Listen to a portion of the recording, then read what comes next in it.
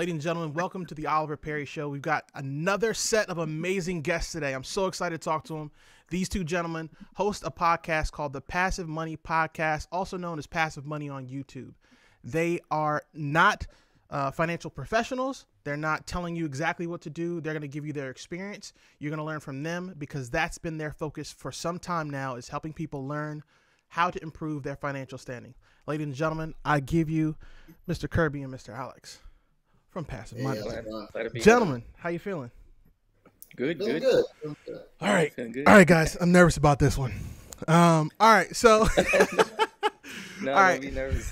so check it out. So I just want to hop straight into it. And the idea behind this entire thing is to give people easy ways that they can improve their financial standing to get to multifamily real estate, just real estate in general, or whatever it might be. But before we hop into that, there is one thing that I need to find out first. All right, Alex. Mhm. Kirby once said that you are so frugal that you and your wife go out and share drinks. Is that still true? that was never true. That was, that was never true. That was never true. I I, thought- do have to say, though, I always get water though. I always get water. It's the only free thing. Yeah. Okay, my that's wife fair. will be the one ordering. Yeah. That's fair. I just wanted to make sure and see if that's still a thing or not. I didn't want to judge. You know what I mean? No, no, that was, that was never true. Uh, All right. okay. Okay. Okay. All right. I'm, I'm gonna chill out then. All right. It was So- close. It was close. It was close. All right, gentlemen. So, how'd you guys get started? How did you guys get started on your financial journey? And and we'll take turns however you guys like. Matter of fact, let's start with Alex. Alex coming in. How did you get started on your financial journey specifically? How did you work that out? Um, it was kind of in two different parts. So the first part would be when I was uh, when I was 18. I had already been I had already had a online uh, business where I sold like military antiques. Right. Um, and so it kind of showed me a perspective that you can create income from something outside of a you know a nine to five job. So that really fascinated me, and I wanted to, uh, whether it was with that specific business or something else, I wanted to create income outside of just having to go and report to, you know, a boss or a, a typical corporate job, something of that sort.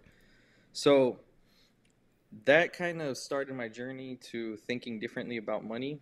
Okay. And I just remember thinking to myself, this was when I was 18, so I remember thinking to myself, like, if I had enough money, I could, you know, essentially not have to go work for somebody.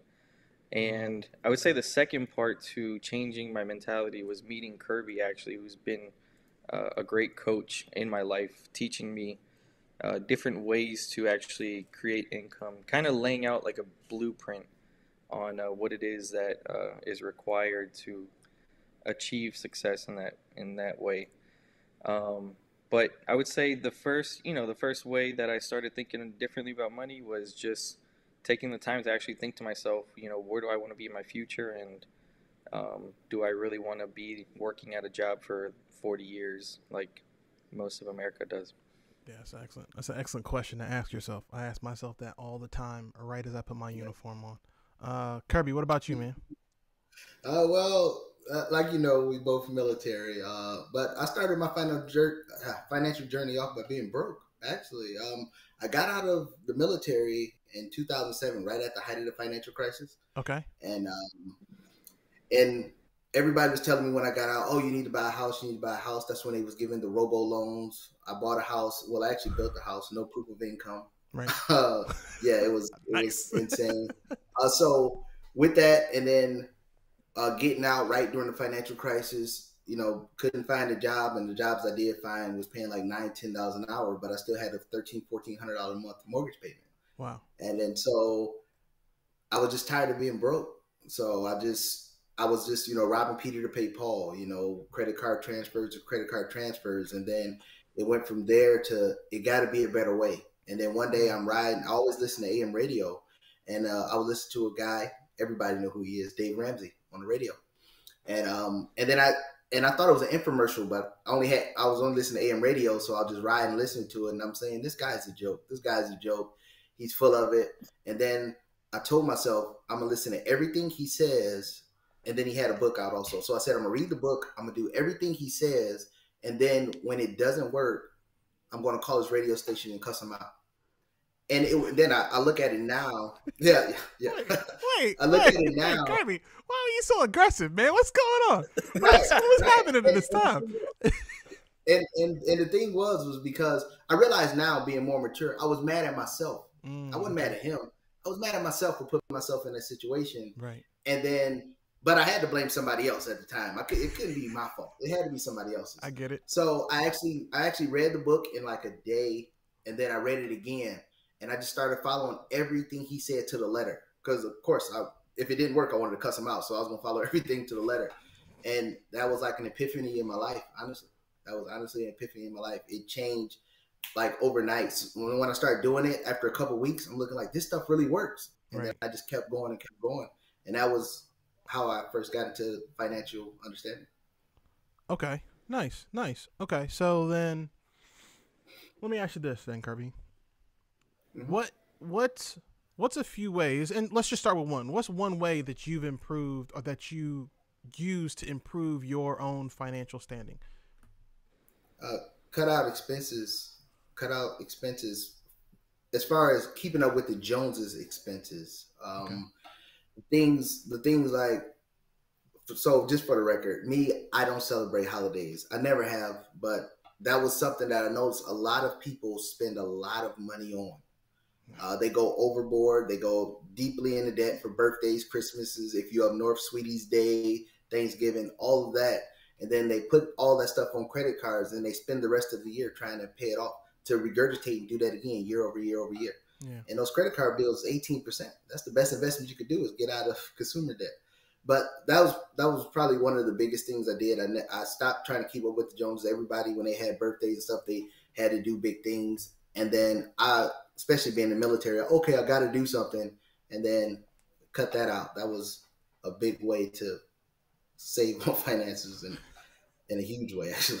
I I, be, I believe it. I believe it. I've uh make sure my wife don't hear me. So I'm going through the same thing. Right, right. All right. All right. don't kill me. I'm just kidding. Okay. all right, all right, Alex. What about you, man? What What about you? What What you What are one thing that you did up to this point to ensure that you were doing better financially? Yeah, um, I would actually go right off of what Kirby ended with, um, and I have to thank him to for uh, for teaching me how to say no to uh, people that are close to me.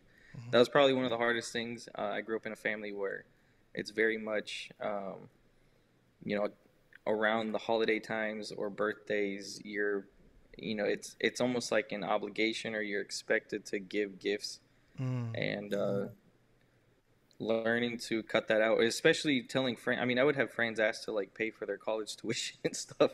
So learning to say no to that, you know, just telling people no, it, it's it's insane how the people closest to you will be the ones with their hands out first. But uh, learning to cut that out first can can save you a lot of money.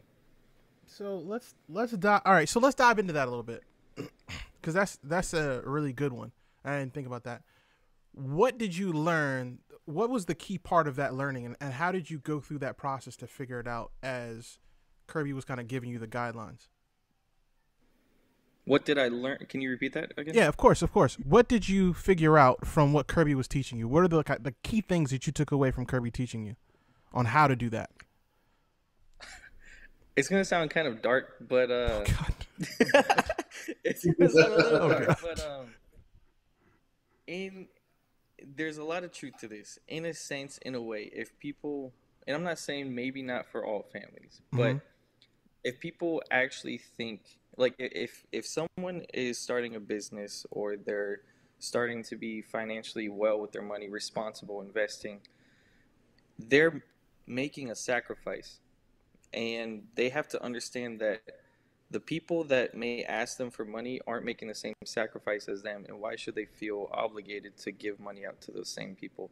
And most of the time those people are your friends your family uh, like i said the people closest to you so saying no to them because a lot of times they really just don't understand the sacrifice you're making but i mean i've sacrificed a lot of you know say eating out or going on trips Right. uh, you know, I know people that go to. We live in Florida, so I know people that go to Disney and Busch Gardens like every weekend. Um, Right. So you know, I I don't do that. You know what I mean? So if those same people are the ones asking for money, Mhm. but not willing to make the same sacrifices that I'm making and my wife are making, then uh, why should I continue to give them money? Ooh, okay. So I like that. That very last part is probably my favorite part. Is your thought process on it being they're not going to give up what you and your wife are giving up to get where they want to go. Um, exactly. So, with that sacrifice, Kirby, for you, what kind of sacrifices are you focusing on outside of, of course, you know, the holidays thing? Um, but what sacrifices are you making to continue to improve and develop on your side of it? Well, now it's a little bit different. Um, like where Alex is at now is where probably I started off years ago.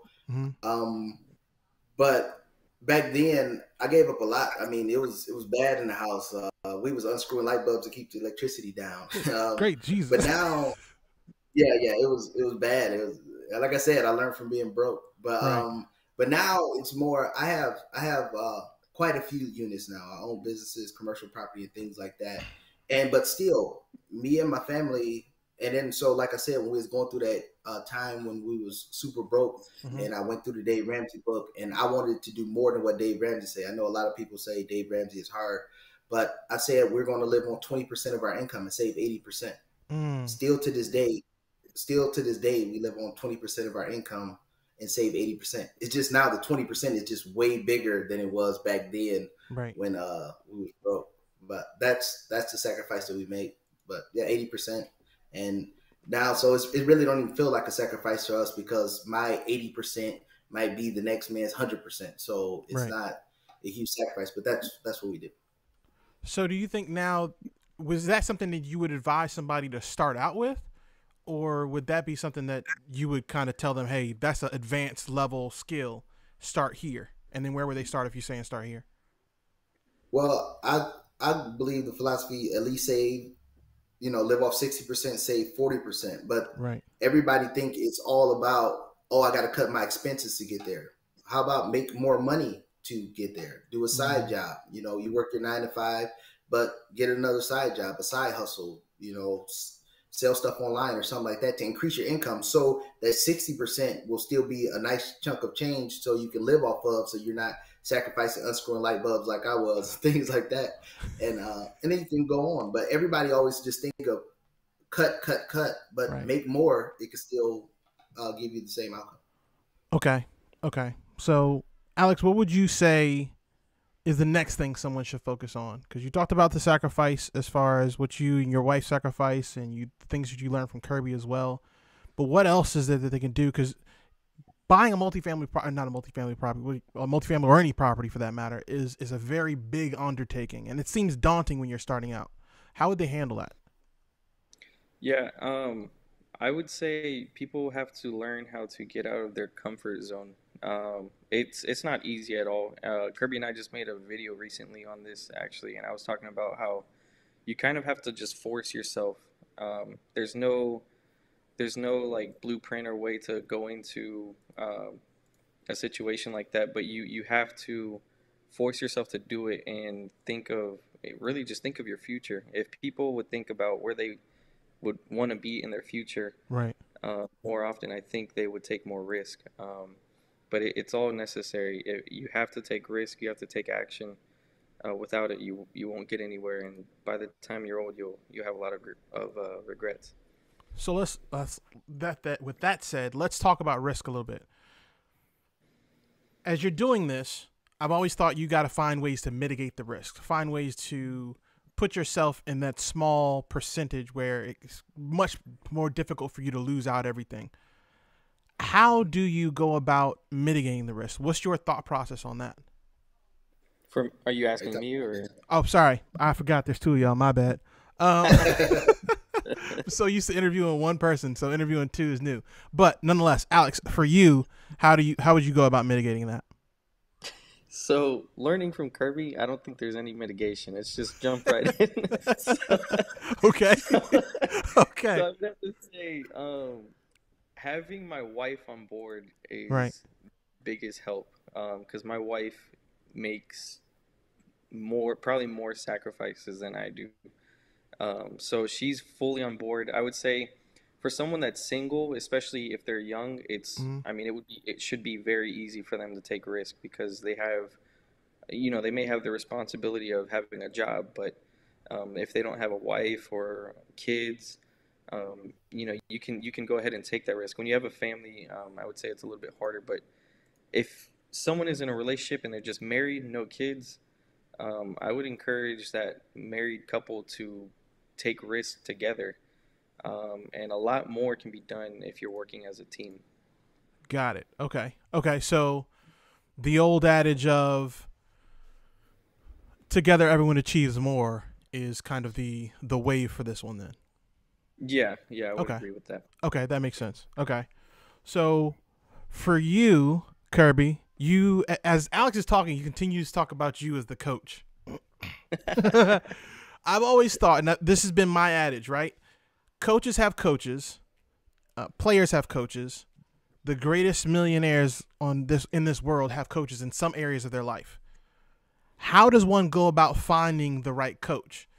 Like Alex, I know found you kind of stumbled into you, but you've taken that role, from what I can tell, very well and, and pushed him forward in his own development. So, how does somebody go and find a, a Kirby for themselves? Um, well, it's it's not as hard as people think. Okay. the The key is all right. So for me, for instance, I didn't have a per se coach. My coach was Dave Ramsey. You know, Hmm. my coach was fi- finding people that were successful and followed the blueprint. I don't want to create a new blueprint and try to create my own. Why Got it. create my own when people that's there before me that's already created it? So I didn't have any starting out. I didn't have any people that I knew that was wealthy or rich or anything like that. So I surrounded myself with, and it's going to sound boring. I sound, surrounded myself with books like the Robert Kiyosaki's, the the uh, Grant Cardone's, the Rich Poor Dad's, the Richest Man in Babylon's, As a Man Thinketh. Those are the things that I I just you know immersed myself in, and I just followed their blueprint to the letter. I didn't try to go create my own like, oh, he said it this way, but I'm gonna do put my little twist in there also. In the book or the blueprint that they provided, it didn't say put your own little twist in there. So if if I knew what I was doing, I wouldn't sit I wouldn't be sitting here broke reading their book if I knew what I was doing. So I act I act like well, I didn't act like I knew I didn't know nothing. I knew I didn't know nothing, so I went and took the knowledge of people that knew stuff and just took it on 100% and followed it to the letter. Okay. That's uh and that's dope. you get the same result. Absolutely. Okay, so let's let's take Dave Ramsey out the picture, right? Okay. Give me your best person for someone to go and watch outside of pa- the Passive Money podcast, which for those listening and watching, I highly recommend the Passive Money podcast. Um, but outside of you guys and Dave Ramsey, where would you tell someone to go get started to figure it out?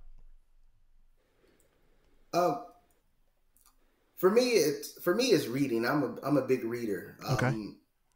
But like Robert Kiyosaki, Rich Rich Dad Poor Dad, a lot of people say they read the book. I always tell them to read it again if they're not taking action on it because it's a lot of things in there. Um, and then you uh you got Grant Cardone. I know some people think he's very abrasive. If you, I'm always of the mindset of don't think of the messenger, think of the message. So if you listen to what he's saying Mhm. of how money works, then it will give you a better understanding of how how the whole system in itself goes.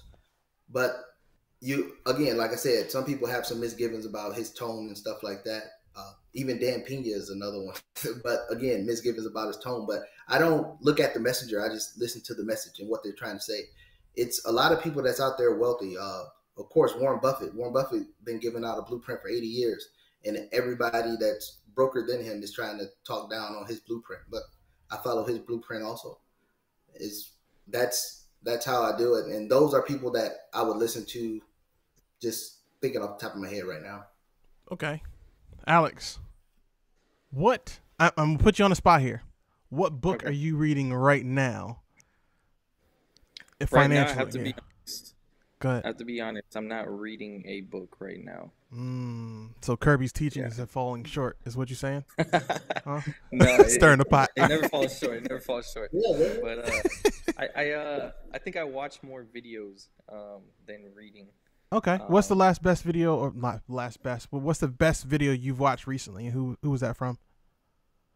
The best video. Oh man, I can't even narrow it down. But um, a lot of content that I watch comes from uh, either Robert Kiyosaki, Dan Pena, Mhm. um, or there's a there's one that people aren't so happy about right now, which is Andrew Tate. But his financial advice is pretty on point.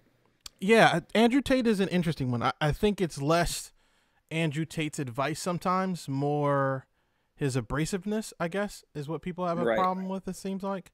Because a lot of the things that he said, as far as financially, were solid. Like decision making process were solid. Um, Right. The relationship stuff, not my business. I'm married. I, I don't even talk about relationships. Um, so you know, interesting. Okay, cool, cool, cool, cool. All right, so gentlemen, let's let's talk about um, the the passive money podcast. How did you, Alex? No, Kirby, you can't answer this. This is when Alex is gonna answer this. Alex, how did you how did you meet Kirby?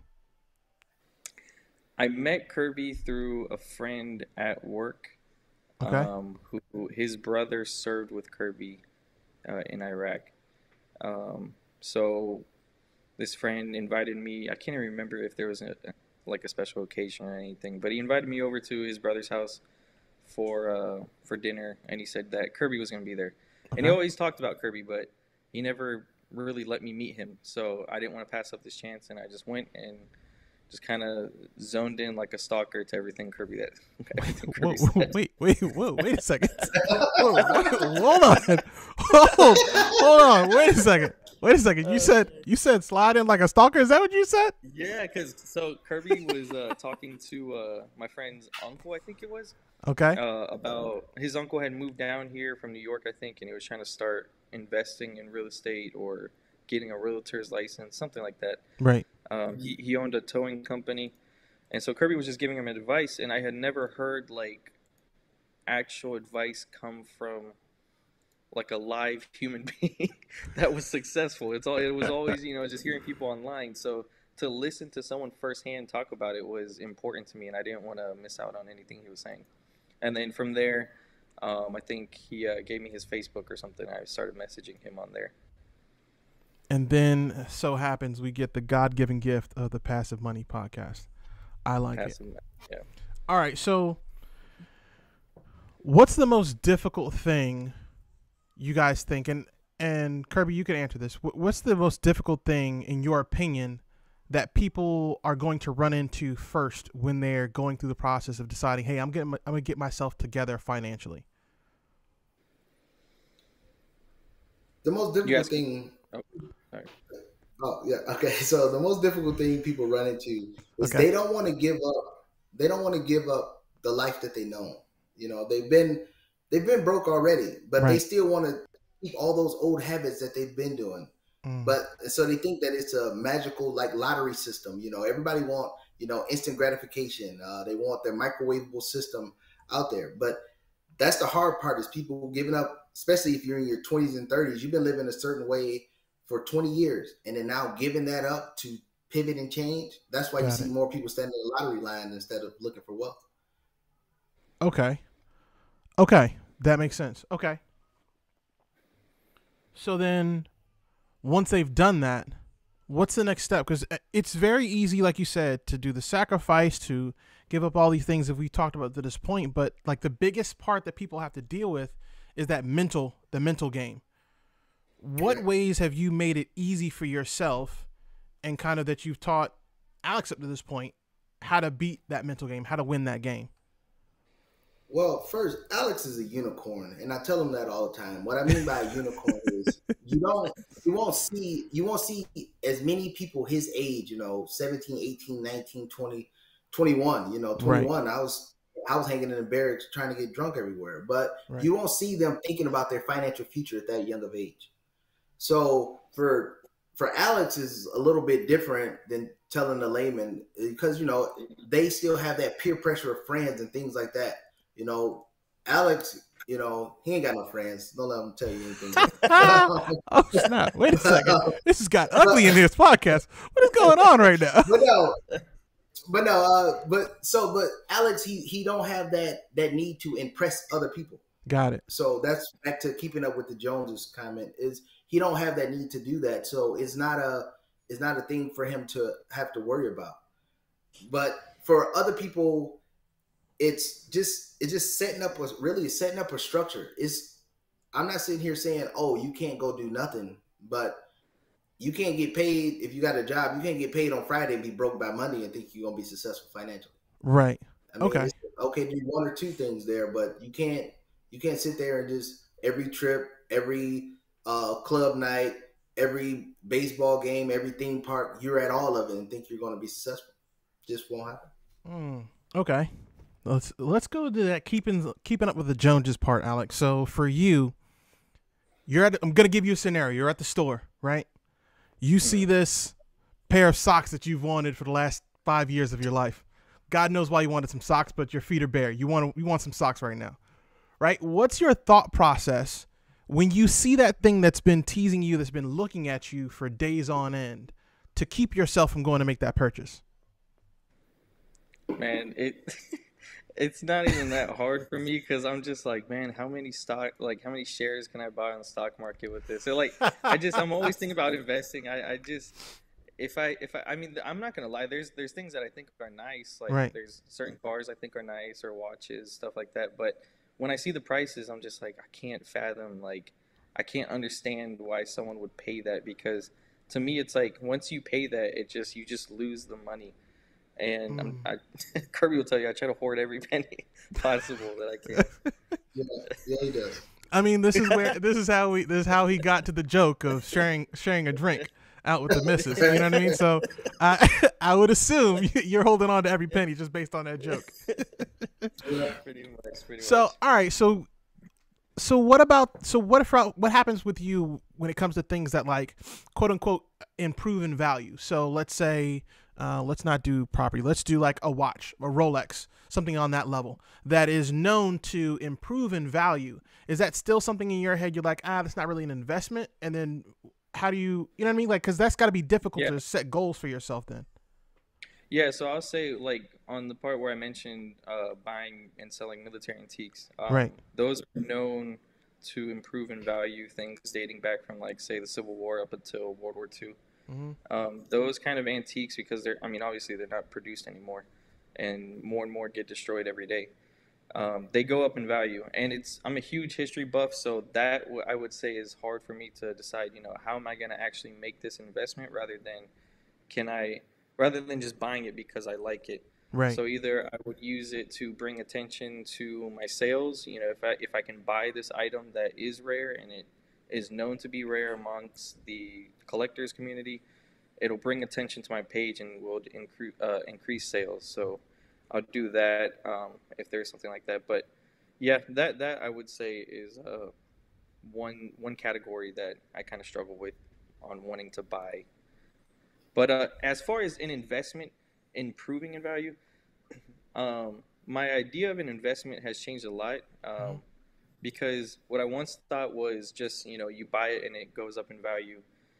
If it doesn't bring you an income, is it really an investment? I think that would be something that people should ask themselves because a lot of people they especially collect, you know, silver coins or gold, um, which I understand can hold its value or increase in value and it's real money in a sense, but it doesn't necessarily bring you an income unless you're actively selling those those products. Got it. Okay, that makes sense. That makes sense. I mean, of course, you know, the being able to actively sell the products makes absolute sense. And even though your fact that you, as a history buff, you, have, I'm guaranteeing you're gonna have that struggle with stuff that is involved in history, military right. history in some form or fashion. So that makes sense. Well, he's only like 20, so everything is history for him, right? so, so, we're gonna pull out military A tracks right out the original Humvees and toss, toss it to Alex. Alex will make it work.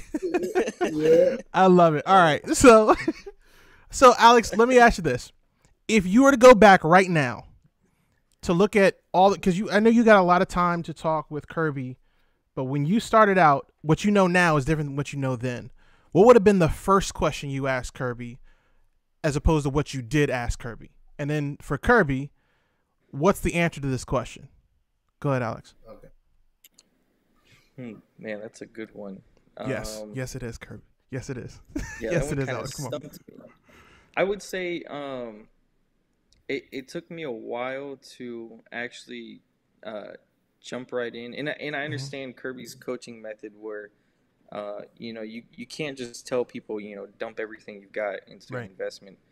Um, but I would say if I could have shown uh, that risk, that I was willing to take that risk earlier, that I would have came to him that way.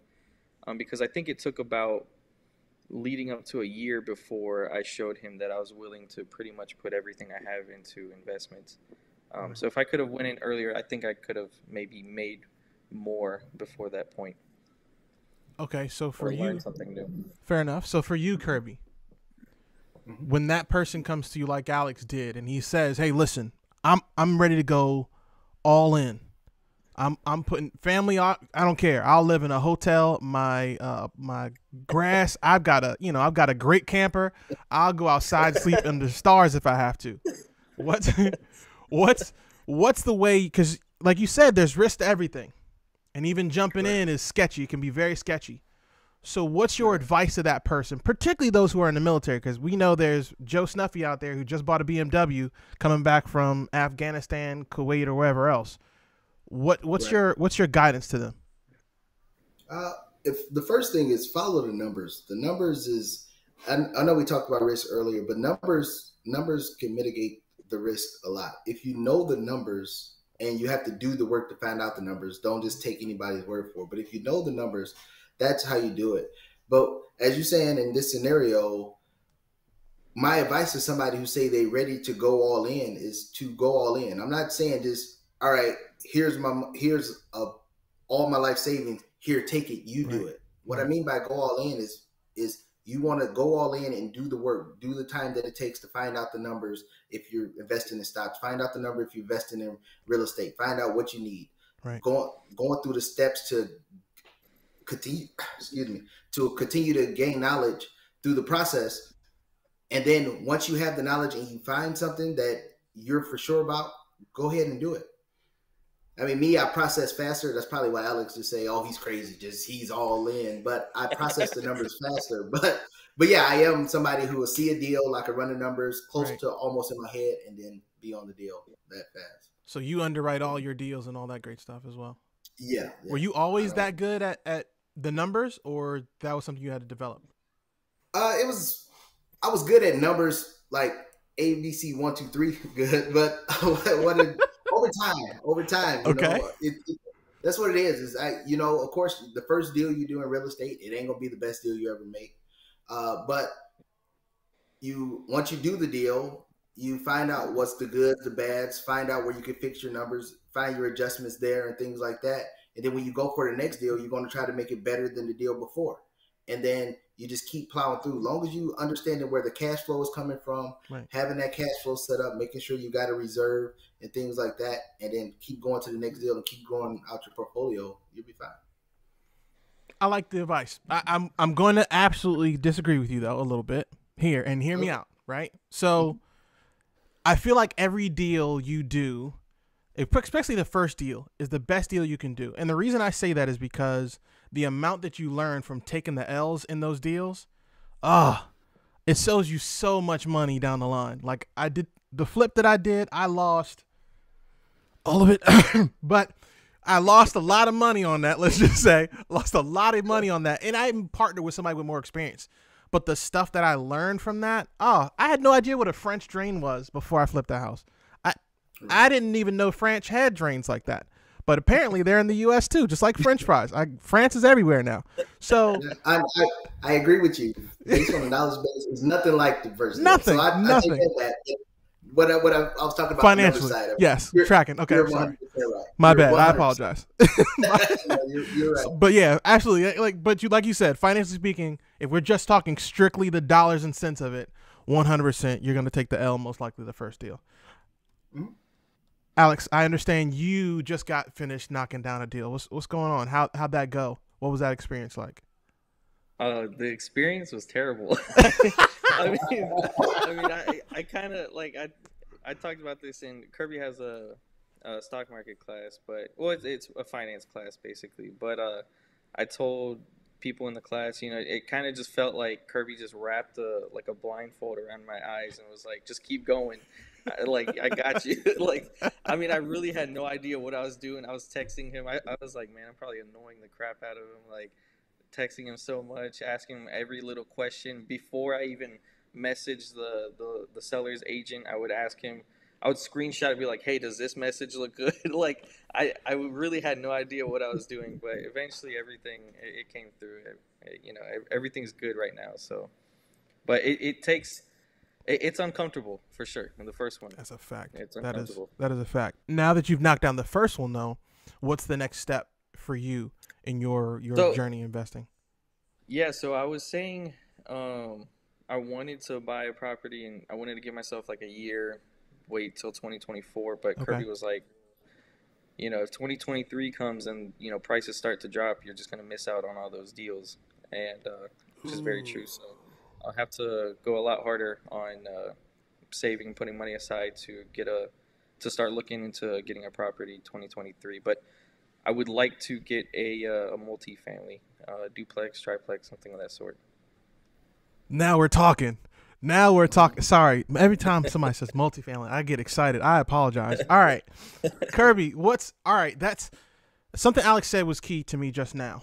Um, he said your advice to him was to have money ready to to take on some shots in 2023. Right what are you seeing in the market as it stands right now that's telling you, hey, this is this is the time we need to be taking shots?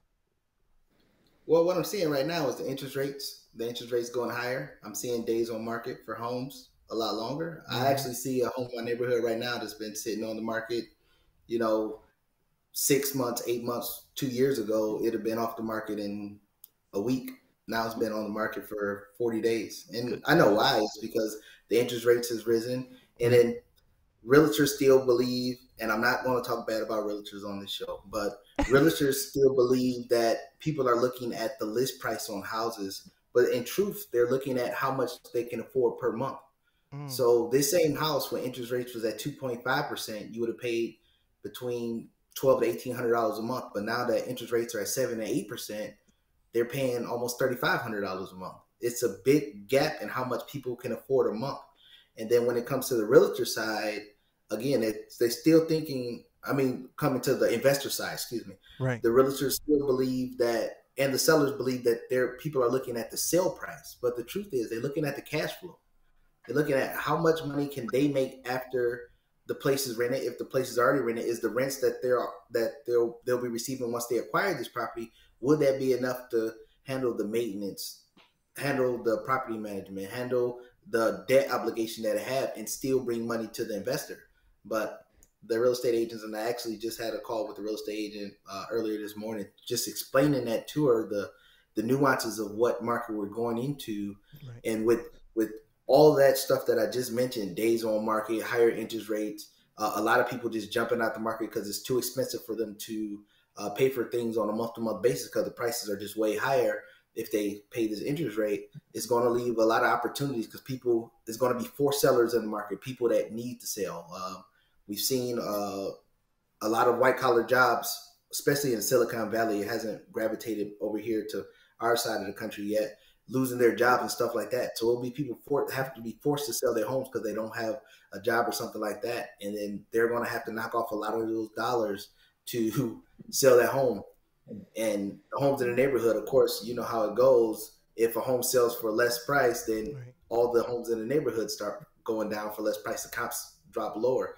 So I'm seeing all that stuff happening in a vacuum right now. So I'm just stacking cash, stacking cash, stacking cash to be prepared for when opportunity hits and go for it. Okay. Let me ask you this then. Mm-hmm. In your opinion, and Kirby, I want to hear your thought process on this, and Alex, I want to hear yours on this as well. What to you, and I know it's subjective to each person, but what to you qualifies as a deal you're going to take the shot on is it 200 300000 or $300000 a month or what, what's that cash flow look like for you uh well for me it for me it looks it looks first i go with the 1% rule i mean i know you're familiar with that you know Absolutely. if the revenue that's coming in is 1% of the list price that's that's my baseline if it's not cash flow positive at day one i'm not touching the deal i know i can rehab the place i know i can uh, raise the rents, but that's work that I have to do. I'm not paying a seller for work that I have to do. So whatever they have done in the time that they own the property, if the cash flow matches up, I will pay them based on the value of how much uh, rent is coming in. Right. And then from there, it's just um, I'm working on a, a six unit. Yeah, Georgia six unit. I'm working on a six unit one right now. And for me, it's about acquiring as many units as possible. Right. So maybe you're getting three, four hundred dollars a door on your first deal, and you just keep you keep acquiring units. That three and four hundred dollars for each door that you grab, it'll eventually accumulate to thousands, ten thousand, hundreds of dollars a month that you're bringing in over time if you just keep stacking them up on top of each other. Got it. So it's a it's a quantity and quality thing. It's not one versus the other. It's kind of a balance in between the two. Correct. Okay. Alex, what about you, man? What are you looking for when you going out to find a deal? What what's giving you the okay? Is it the one percent yeah. rule? You at two? 20 percent? What what are you looking at? no, I mean I'm a little bit more conservative. Kirby's on a conquest, a warpath, but uh, I'm just trying to. Uh, I'm trying to keep the. I, I try to do the one percent rule, and then if it can at least pull in cash flow more than uh, the S and P 500, which for those that may not know is an index fund on the stock market that over the long term brings in about 10% a year. So if I can make more above that, then I think I'm good. Okay, fantastic. All right, gentlemen, let's do the. I got so much I want to ask y'all, but we're gonna do the troop to task because I'm very respectful of everybody's time. So let's do the troop to task. For those watching and listening, troop to task is a military term. What we do is we provide a soldier, a sailor, an airman a specific instruction on something that they can do, and then come back after that mission is complete and we give them the next assignment. So for each of the gentlemen, I'm going to ask them what the troop to task for you is today. So let's start out with Alex. Alex, what's your troop to task for the listener today? I would say take more action and don't be uh, don't be afraid. Just I I really love the quote. Learn to be. You have to learn to be. Uh, you have to learn to be comfortable being uncomfortable. Um, I would I would go with that. I like it. All right, Kirby. What about you? Uh, it's go out and get it. I mean, I mentioned you know reading books and things like that, but just gaining knowledge by itself don't mean nothing. It's useless if you just have the knowledge and you're not going out there and putting it to action. It's going out there and putting it to action. No matter how many books you read, no matter how many YouTube videos you watch of people giving you financial advice or advice about anything, period, if you don't put it into action, it won't do you no good. Oh, ladies and gentlemen, Alex and Kirby have given you a bunch of easy ways to go about improving your own financial position and even giving you some advice on real estate investing yourself. And with that said, we're going to hop into now the game we call the hot seat. Now we're going to have a fancy transition here. So there's some fancy transition. It just happened. All right, cool. Now we're jumping into this. My editor's going to kill me. All right. Um so all three of us going to I, I think I'm going to join you guys on this one. It might be fun. So all three of us going to answer these questions. Um, and we're gonna go from my right, which is Alex, jump okay. to Kirby, and then I'll, I'll answer last, and we'll mix it up in between there. All right. So, Alex, first question: What puts me in a good mood immediately? You or me? You. Oh. Well, I mean, I'm gonna answer too. Don't get me wrong. I'm gonna answer too. What puts me? Yeah, yeah. What puts okay. you in a good mood? Oh, I did say what's me. That's on the card. My um, bad. Go ahead. Um, immediately. Yeah. Probably coffee. I don't know. Probably coffee, man. Yeah. Okay. Yeah, coffee. Okay. Fair enough. All right, Kirby. What about you? What puts you in a good mood immediately? Uh, when the property management management send me the email saying the check's on the way. How did I know? How did I know? All right, that's fair enough. That's fair. For me, um, I if I put on Lionel Richie's all night long, it's it's it's game on. I don't know why. Don't get me wrong. It's the weirdest thing. I don't have enough hair to have a Jheri curl, but for some reason that song does it for me. Um, all right, so Kirby, this question's for you, and then Alex, you're gonna be next. What is something that you wish you enjoyed? I wish I had more time with my family. That's that's not the truth. More time. I wish I would enjoy more time with my family. Oh, what I oh, mean by okay. that Woo, is- boy, you might be in trouble. yeah, yeah. What I mean by that is I I'm pulled in a lot of different directions. Mhm. Um, so like this interview here, right after this interview, I have to leave and go to another meeting, and uh, I had meetings all day and stuff like that. So that takes away from time from my family. So Yeah. just spending more time with my family. okay, love it, yeah. love it. Alex, what about you? Something that I wish that I enjoyed. Man, that that's a hard question. Jeez. I would I would I mean, Kirby's has a great point. He's a lot more busy than I am, and I'm sure I'll get there um some point soon, but Geez, I don't even know if I have an answer. I I, I- really don't know. It's Something cool, that I it's cool. I- Don't worry. Because I, I have to say, I have to say, I I really I'll, I'll say this. Okay, Um, I don't think there's much that I put myself in that I don't enjoy. Um, I kind of look at life like a blessing, and every second that I can get, I try to remember it the best I can. Um, because to me, time is the most valuable asset. So I would say I enjoy life. I, I really do. So every, I mean, I enjoy pretty much everything. I don't think there's anything that's in my life that, because I'll say this: if there's something in my life, Mhm. and it could be even people that I love, if it's in my life and it's negative and I don't like it, I cut it out immediately. I just, I don't want to tolerate it. Ooh, that's a that's a low key bar, Alex. Well done, ladies and gentlemen. If it's if it's no good for you, cut it out. Nobody needs it. Get it out of there. Yeah. I am I am nowhere near as noble as you. So for me, the thing that I wish I enjoyed more, uh, and given the holidays is kind of thematic. I wish I enjoyed those Hallmark movies my my mother and my sisters like watching. I bro, I don't know what it is. I know y'all know y'all know what I'm talking about too. That's what you're Yeah, laughing. at. yeah, You know exactly what I'm talking about. As soon as the movies start, I already know the ending. So now I gotta spend an hour and a half watching some stuff I already know the ending to. I dude. Jesus Christ, I hate that. I hate those. All right. Um this time I'm gonna go first this time. Um and the question is, what excuse would you use to get out of jury duty? I I ah this is a this is a tough one. Um this is a bit incriminating. Um, what would I what would I use to get out of jury duty? I would say um that my wife is pregnant, knowing full well that she's most likely not. I'm definitely using that, and I will forge documents. Uh, this is not this is not on record for those of you watching. This isn't on record. I'll forge documents. to do it. I'm just saying, if if this is the case, I you know if I really had to get out, that's what I'd do. But that's not the case, and I really wouldn't do it. I'm lying. All right, Kirby, don't arrest me. Go ahead, Kirby. Kirby, it's, it's on you. It's on you. Your turn to answer this question. What Oh, excuse would you use to get out of jury duty? Uh, I probably I probably would uh, go fly to a rental property and then say I can't afford to come back.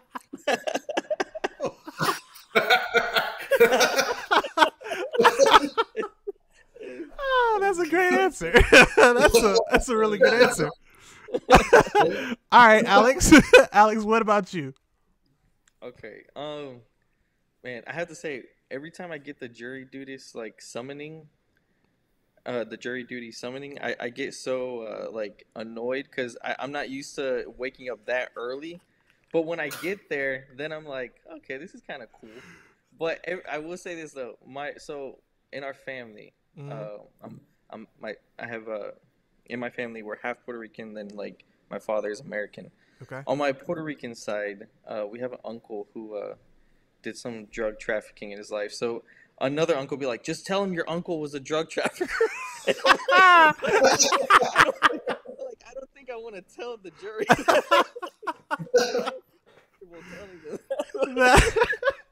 Well, telling them. oh man, but I, I'll say that. Yeah. yeah, that's a. I might have to steal that idea. That's a good idea. That is. oh man, that's a good one. All right, cool. All right. So this time, uh, I think we're gonna go back to Kirby this time. Kirby, you're starting this one off. I sorry, you in this case it says I, but you discovered blank before it was cool. What'd you discover before it was cool?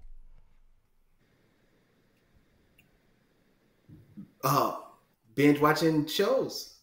Really? Cool. Okay. All right. All right. I was gonna give you cross colors on the episode. You talk about cross colors. I was gonna say cross oh, colors. Alex. Yeah. Well, no. I mean, because you know we was in the military and then uh, deployed. That's the only, we only could binge watch shows. We didn't have no TV or nothing. That's like that. absolutely. And now I'm looking at all these other shows out there. Man, so I've got four. I got four hard drives right next to me right now, full of yeah. movies. We what was the question again? Netflix and all those other guys. uh, the question is, Alex, you discovered what before it was cool? Discovered what before? Probably yeah. nothing. I don't think, man. My oh man, jeez, I'm, I'm, a hermit. Oh my gosh, discovered. I don't think I discovered anything, man. yeah. All right, fair enough. Discovered. Uh, I, I, would say uh, maybe maybe uh, uh, discovered investing like in, as far as being in my family. Now everyone else wants to like do their little their little twist to investing, but okay, yeah, I like it. I like it. That's a good answer. Very good. They're very distinguished. Mine's is more degenerate. Yeah. I discovered push pops before it was cool. and oh, okay. So Alex knows good. Alex knows push pops is. Push pops, man. Push pops was the wave. It was one of the greatest things on God's green earth when I was younger. I swear to goodness. They had some. I just got back from deployment in Kosovo. They had some in the little deployment PX we had. Bro, I bought them out that day. Nobody had push pops with me. I was the only person, I was the only dude on post with push pops, and I was rocking them.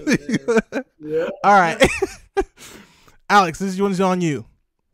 Okay. What's one sentence that describes your year? Hmm. I would say Wow. Uh, weird. I would say weird. Mm, okay. uh, it's a very weird year. My so I lost my godmother and my grandmother this year, but at the same time, got my first rental property, and got to travel a little bit more with my wife. So I like it. Good, very good things and some some bad things in the same year. Good stuff, Kirby. What about you? What's one sentence? What's the sentence that describes your year? Um, my year, I believe I underachieved. I believe I underachieved. Um, and what I mean by underachieved, I had goals. I passed those goals, but I still believe that I could have hit bigger goals that I set for myself at the beginning of the year. Mm, okay. Okay. For me, uh, it was enlightening. I spent my entire time, for the most part, this year um, in Kosovo, of all places. Great place, not bad it was just a lot of things were happening. Family members were I saw family members pass away. I had a friend who passed away. It's very when family around people around you and friends around you start passing away, you start to really realize what's really valuable in life. So I, I'd say enlightening for myself. Okay, so this one I'll start off. Oh man, Jesus, this is the one that I was trying not to ask myself. All right, what is the most embarrassing way I've injured myself? All right. So it's a training event, right? I'm gonna set the stage a little bit. So it's a training event. We we have to go to the range. That morning, we get up, hands are freezing, frosty. You know, I run and take a shower. I get myself ready. I forget to put lotion on, grease hair, the whole nine. I give you that because that's important to the story. So we get out to the range and we're firing, pow, pow, pow, and I go to pull back um, the chamber and I, I pull it. Uh, trying to make this as simple for those who aren't military. Basically, on the M16, you've got a little latch on the back where you pull and the bullet will pop out. So I pulled it and I let it go. But what I did not do is realize that my left hand was too close to the chamber. So my hand, this particular part right here, got caught in the chamber. Mm. Now I was so ashy that that part of the finger hand came right off. it came right off. So so I'm sitting, I'm sitting in the in the cold on the floor, and I'm laying down as I'm doing this. I'm looking at my hand, and it's just raw meat. I'm like, all right, well, you know, I guess we're here now. This is this has just happened. I have never been that ashy in my life, and I will never be that ashy ever again. I promise you. All right, Kirby, what about you? What's the most embarrassing way you've injured yourself? Oh, it, actually, it just happened about six months ago. Uh, nice. Me and my son, my son was uh, climbing trees in St. Pete, mm-hmm. and uh, and then he was like, he was like, jump off, and my wife was like, you too old, don't jump off, don't jump off. so, so, you know, me, I got, I got. I uh, so I, I had to I had to show him I wasn't old, but like as soon as I jumped off and I landed, my ears started ringing, my hip felt like it fell out of socket. Oh man, it was bad. Oh my god. It was, it was bad. Yeah, but I tried Oh, to play it man. off. You know, I had to play it off. Yeah, So I tried yeah. to play it off and walk it off. Oh, it, I was broke. Uh, You, you just move it a little bit slower. Yeah, you got to get off that tree. Just move a little bit slower. You're a little bit stiffer. Don't let nobody know you got hurt. Alex, what about you, man? Yeah. What's the most embarrassing way you've injured yourself? All right. So when I was 12, I Okay. was playing, and at my grandfather's house, there he used to have a hammock outside, and my aunt like pretty much dared me to try and jump over it. So I was like, okay, yeah, sounds like a good idea. I totally just tripped over it and snapped my wrist. It was like, I don't know, hold on, where's the? Yeah, it was it was totally just like my bones were going the other way. It made a Y and everything, and I was like, "Oh my gosh!" like, just totally just destroyed my whole hand. Good God. And then the the even the worst thing is they were like, if you can move it, it's not broken, and it was just crunching the whole oh, time. oh no! Wait, it's making the sounds as you're moving it. Is that what's happening? Jesus Christ! I was like, I don't think it's supposed to sound like that. Oh my God! Man. Oh, fantastic, gentlemen! Thank you so much for coming on, ladies and gentlemen. That's Alex and Kirby. Please, please, please go check out their podcast, gentlemen. What's the best way? And I guess Kirby, what's the best way for people to reach out to you or Alex, or is it one on both? What's the best way, best way for people to reach out to you both? Uh, it's it's the same way for both of us. You can just pass the money at gmail.com and uh, ask, submit your questions. We'll answer all of them or submit the comments in the comment section on any video you have a question about. We are readily looking at the videos and looking at the emails to reply back to re- responders. Awesome. Ladies and gentlemen, I hope you guys have enjoyed Alex and Kirby today. You've learned quite a bit about us. Uh, Alex's crunchy hand, Kirby's busted hip, and my extreme dislike of all Hallmark movies. Ladies and gentlemen, thank you guys, thank you boys for coming up on so much. And uh, I guess we will see you guys next time. Remember, you're better than you were, but you're not half as good as you're going to be. We'll see you soon. Thank you.